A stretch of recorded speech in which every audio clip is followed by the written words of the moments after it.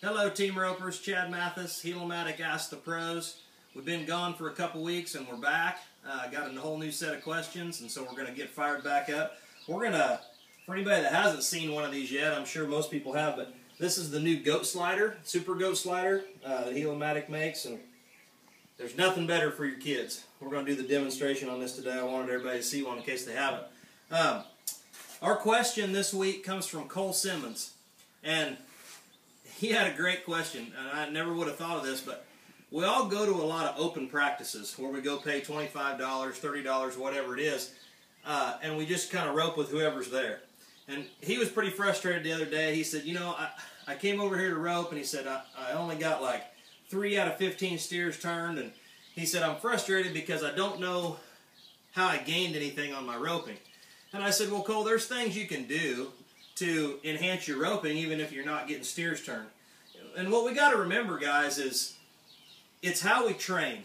It's how we train. If we train the right way, when we get to the jackpot, things are going to seem easier. So here's two or three things, four things that you can work on in the practice pen when you're not getting very many steers turned.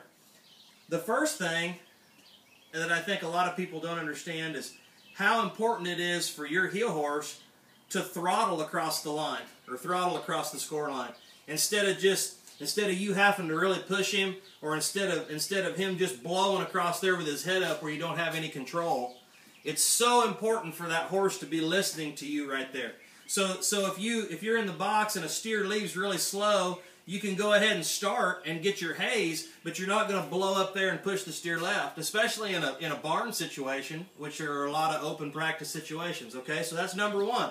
Control your horse across the line. Throttle him right there. Number two is, even if you're not getting steers turned, you can always work on keeping that horse's shoulder up and keeping his nose to the inside where you're holding his body and not letting him go in there. I get a lot of horses over here people bring me to fix, and you'll be going down the arena, and the header will miss, and the head horse will go to duck out a little bit anyway, which that's another video. But when the head horse goes to goes to duck out, the heel horse, not even watching the steer, is anticipating the go too. That's that's another thing that you can work on is holding your horse's shoulder up. Um, the other thing that I see a lot of times, you know, we're in barns or small arenas or the the chutes are over to the right, and you get this situation a lot. You got steers that you can't haze, and so they come out and they run in front of you. Well, that's another that's another reason that you have to be able to back your horse off right here, get out of your header's way, and then you have to be able to hold his shoulder up even longer because it's going to take since you're already straight behind the steer, you don't have this 8 10 foot buffer this buffer zone for when he turns. You don't you don't have any buffer here, so you're right here.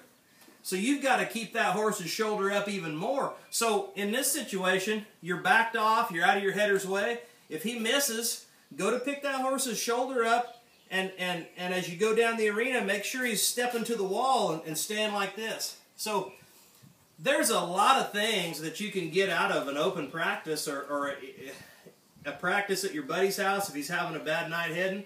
There's a lot of things you can get out of that if you just know what you're trying to get. So until next week, this has been Chad Mathes, Heel-O-Matic Ask the Pros. Um, we're uh, team number 82 at the BFI this year. Pretty stoked about that. So look for us out there, and uh, we'll see you next week.